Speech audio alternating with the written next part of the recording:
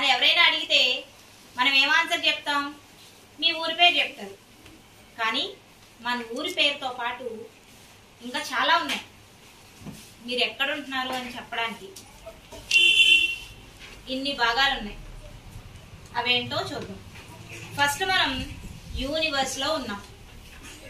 Universe ఈ యూనివర్స్లో చాలా గెలాక్సీలు ఉన్నాయి. దగ్గర దగ్గర టూ ట్రిలియన్ గెలాక్సీస్ ఉన్నాయి. ఆ గెలాక్సీలో మనది milky way galaxy milky way galaxy ఈ గెలాక్సీలో చాలా సోలార్ సిస్టమ్స్ ఉన్నాయి.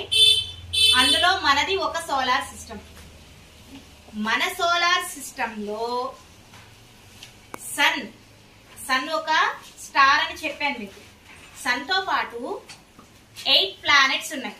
అందులో మనది ఎర్త్ మన ప్లానెట్ నేమ్ ఎర్త్ అన్నమాట.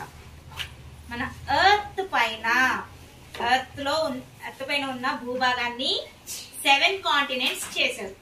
ఆ సెవెన్ కాంటినెంట్స్లో మనది ఏషియా ఈ ఏషియా కాంటినెంట్లో చాలా కంట్రీస్ ఉన్నాయి.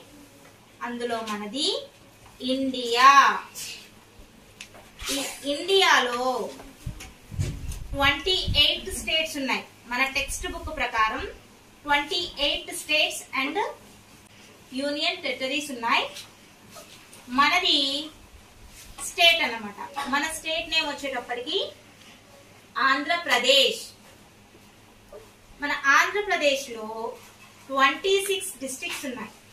మన డిస్టిక్ వచ్చేటప్పటికి west Godavari district west Godavari డిస్టిక్లో లో ట్వంటీ మండల్స్ ఉన్నాయి.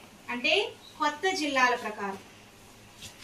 ఈ ట్వంటీ మండల్స్లో మనది ఆకివీడు మండల్.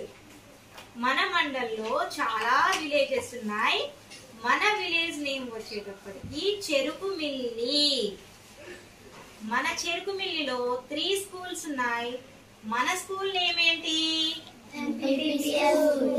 ఓకే మనది ఎంపీపీ స్కూల్ అంటే మీరు ఎక్కడి నుండి వచ్చారు? ఎక్కడి వారు? అంటే మనం ఏం చెప్పాలి? ఎంపీపీ స్కూల్లో నుండి వచ్చాము. మాది Cherukumilli village Akividu mandal west Godavari district Andhra Pradesh state country India continent Asia planet earth solar system galaxy milky way galaxy and universe చూసారా? మీరు ఎక్కడి నుంచి వచ్చారు అంటే ఇంత ఉంది మనం సింపుల్గా విలేజ్ మన విలేజ్ నేమ్ మట్టుగా చెప్పి ఊరుకుంటాం. కానీ మనం ఎక్కడి నుంచి వచ్చామో ఇంత ఉంది ఓకేనా? ఇదందరూ కూడా తెలుసుకోవాలి నేర్చుకోవాలి.